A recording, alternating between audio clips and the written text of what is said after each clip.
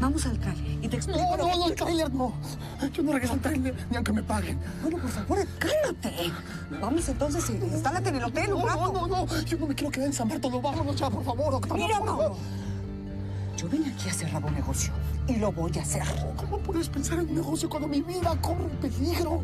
Ese tipo no tiene escrúpulos, no tiene moral, no tiene conciencia, no tiene nada. A mí no me interesa ni su moral ni su conciencia.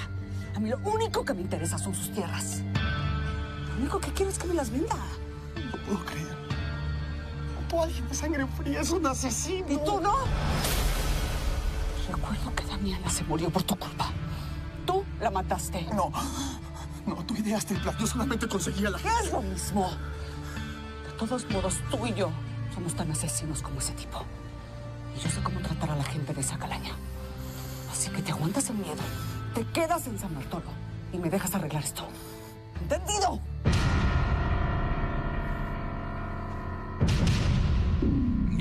Acuerdo, Juli tiene un oído como de sacerdote en confesionario, capta todo. Bueno, ¿y qué? ¿Fueron a averiguar? Sí, sí, sí, claro. Recorrimos toda la plaza y no encontramos nada. Al que nos topamos, pero más tarde fue cuando Julie creyó haber visto una sombra en la plaza y, y nos volvimos a salir de la casa y al que vimos fue A a... ver, a ver. ¿Cuándo volvieron a salir de la casa? ¿De cuál casa? de la de Julie. ¿Y tú qué hacías en la casa de Yuli? Me quedé a acompañarla para que conciliara el sueño. Ah, mira, mientras conciliaba el sueño. ¿Qué acomedido me saliste, Eulogio? No, no, no, no, no, no, no, señor, no vaya usted a pensar mal. Yo sería incapaz de... Mira. de- de- Te voy a decir algo, Eulogio. Ya tengo a Juli en espera, en pausa. Así es que no quiero, por ningún motivo, que te aloques con ella, ¿me entendiste? Señor presidente, por favor, me ofende. Sí, pues prefiero ofenderte que luego correrte. De eso no se preocupe, señor presidente. Pero eh, ese no es el punto. El punto es el disparo. Sí, hablando de disparo, ya vete, hombre, porque estoy a punto de disparar sobre mi presa. Sí. ¿Su presa? Sí, sí, una ninfa, una ninfa que no debe de tardar, va a venir acá a la casa. Así es que no te corro, pero hazme el favor de aguacarle la... Vamos. Pero, señor presidente, Te tenemos estoy que ver los diciendo balazos, eh, antes. Pero, señor, tenemos que arreglar este Mañana te cuento. Señor, lo que tenemos... Sí, señor. Luego esta mujer que pues yo creo que sí viene con unas ansias locas de... Pues de verme, de sentirme. Por favor, Octavia, quédate conmigo. Ay, ya te dije que no puedo. Tengo asuntos que arreglar. Sí, pe- pe- pero puede Ya, venir. ya, ya, no. Mauro. No va a pasar nada, ¿ok? Nos vemos mañana.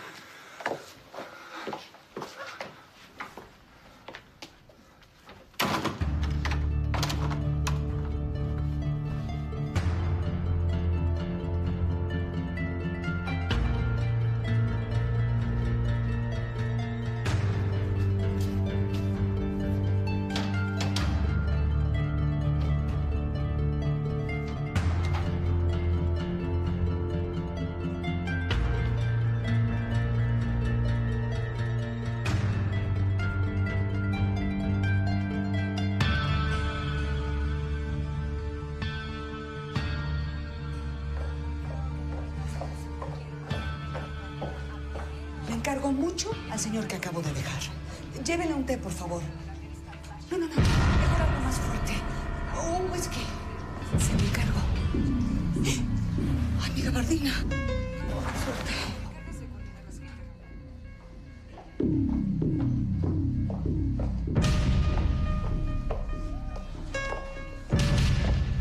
Señora. ¿Qué? ¿Estabas buscando? No, no, yo tengo plan con mis cuates. Pues creo que no vas a poder verlos. Pero eso es que pues ya he quedado con ellos. No, no, no. Vamos a tomar una copa tú y yo. Eh, pero pues me están esperando. Vamos. un aliento. Cuando yo la miro a usted me deja.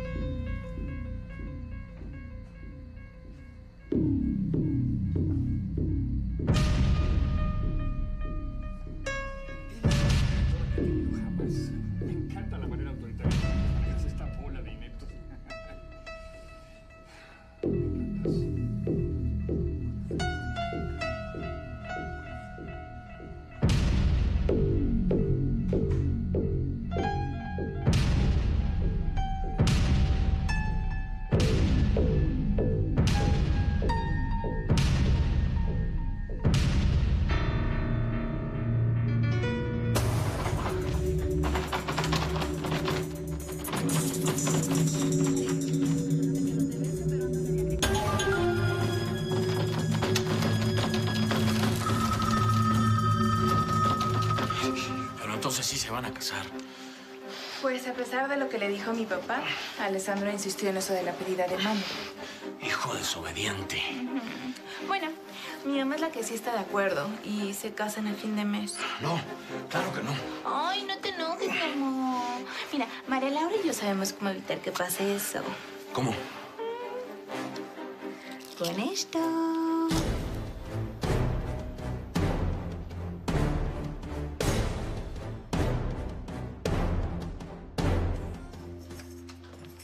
Gracias. El trabajo que te costó disimular tu decepción. ¿De qué estás hablando, Valeria? Ay, no te hagas, Emiliano. Vi la cara que pusiste cuando Alessandro dijo que se casaban a fin de mes. La única cara que pude haber puesto fue de gusto o de alegría, nada más. Déjame decirte, hermanito, que nadie te cree eso del hombre comprensivo, ¿eh? Tú estás interesado en Marcela. No digas tonterías, Valeria, por favor. No son tonterías, Emiliano. Te conozco como la palma de mi mano. A ver, te voy a preguntar algo. Y me vas a contestar con la verdad. ¿Está bien? Está bien.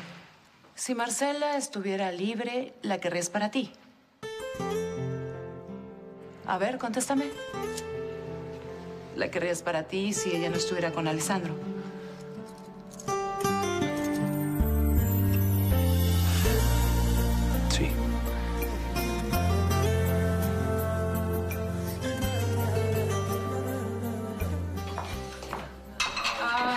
¿Pero qué no te pedí que te fueras a descansar? Pues sí, mi amor, en cuanto levante la cocina. Mateo y Rosa me están ayudando, así es que ustedes ya váyanse a dormir, por favor, es muy tarde, ¿Cómo corazón. cree? Usted necesita descansar, Váyanse Salario. tranquilos, ya, Alessandro, no pasa nada. Buenas noches. Bueno, buenas noches y pues, que descansen. Y gracias, gracias por todo lo que hicieron para recibir a mis padres. Fue un gesto pues, muy bueno de su parte. No es nada, Alessandro. Y usted, doña Sagrario, se viene a descansar. Sí, Que, sin nada, que se queda. Pero, pero bueno, por Ya, tía, por favor. Marcela, me gustaría platicar un momento contigo. Te espero en la recámara. Sí, buenas noches. Buenas noches, Rosita. Buenas noches. Buenas noches, Mateo. Alessandro. Llégale, Rosa. Ay, siempre lo mismo. ¿Qué pasa, Mateo? ¿Qué, ¿Qué es eso que me quieres decir? Más que decirte, quiero pedirte que pospongas tu boda. ¿Por qué? Para que te des tiempo. ¿Tiempo de qué, Mateo? Lo que quiero es que termines de darte cuenta. Alessandro y tú no tienen nada que ver. Mateo, es que ¿por qué te cuesta tanto trabajo confiar en él? No sé. Es algo aquí adentro. Algo que me dice que si te quedas con este hombre vas a ser muy infeliz. Mateo. Para él eres una novedad, Marcela. Algo que él nunca ha conocido. Pero cuando la novedad pase, cuando ya le hayas entregado tu corazón y él te desprecie, Pero, pero, ¿por qué habría de pasar una cosa así, Mateo? hasta donde entendí, él quiso mucho a su esposa.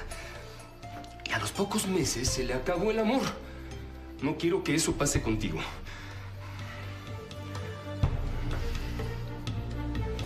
Mira, a mí el corazón nunca me falla.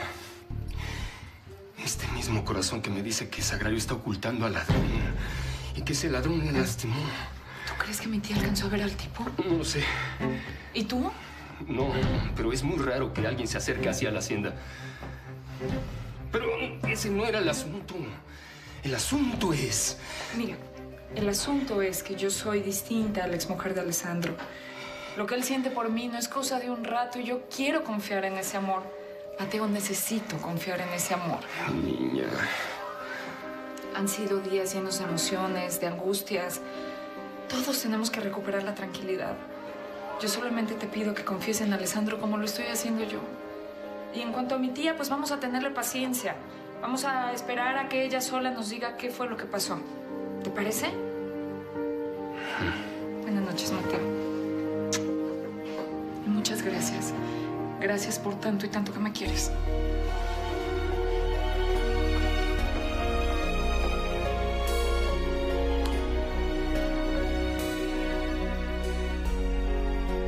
¿Sabes que tú también le gustas? Estás loca. Marcela te ve con ojos de admiración.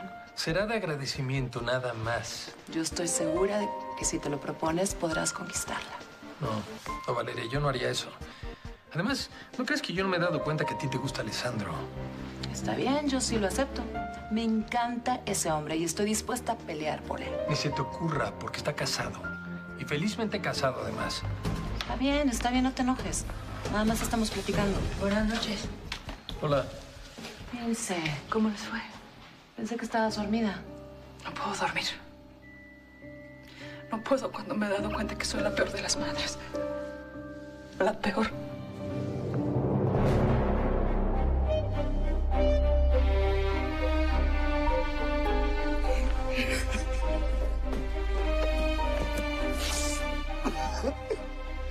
Soy una basura.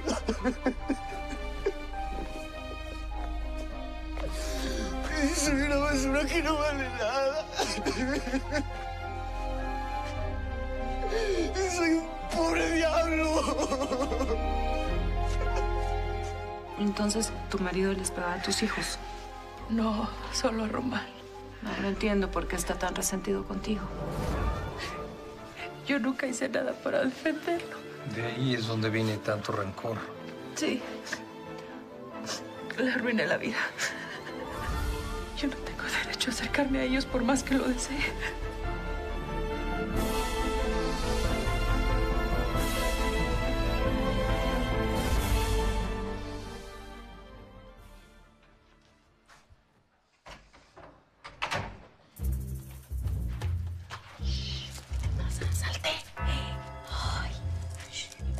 Loco? ¿Qué te traes? ¿Vas a despertar a Alessandro? Vete. Es que, Marcelita, tienes que venir porque Camilo está muy, pero muy mal. Sí. Ay, ¿y ahora qué le pasa? Está ardiendo en calentura el pobre. De verdad, tienes que verlo. Es que sí está muy mal. Ya me está dando mucho miedo que se vaya a petatear o algo. Vamos. Ándale. Ay, ándale, pues, mami. Ándale, corre.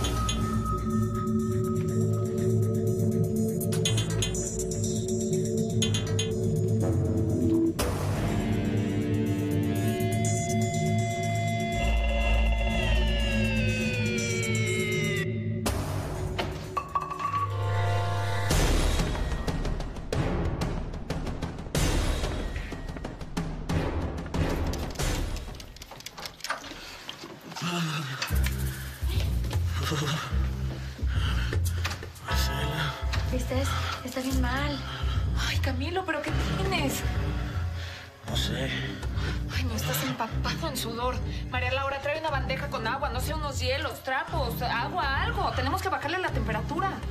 Sí, voy, voy, voy. No, hielos no. No, como hielos no, hielos sí. Y tú no te preocupes, Camilo, solamente hay que bajarte la temperatura.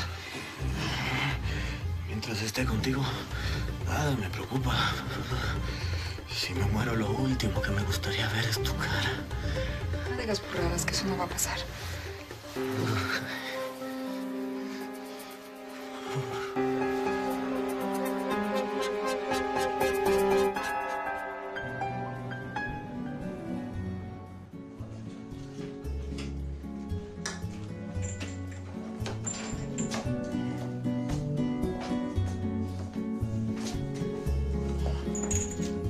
Tiene uno que mudar de pueblo para conseguir un trago.